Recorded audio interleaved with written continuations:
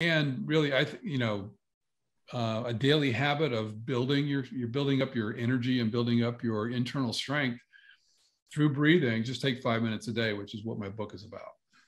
Nice. Well, it's it's funny because we are just doing a um, a workshop on emotional intelligence last week, and I thought was there's a lot of parallels because we talked about the amygdala and the, the amygdala hijacking and stuff like that, and it, exactly what you were saying. But it was what I thought was interesting is some of the parallels. What you were saying is to the concept of emotional intelligence, and if you can, and I like very specifically Dr. Marshall Goldsmith's book Triggers, because it's very similar to the, the Power of Habit by Charles Duhigg, but specifically with triggers, his big thing is just what you said.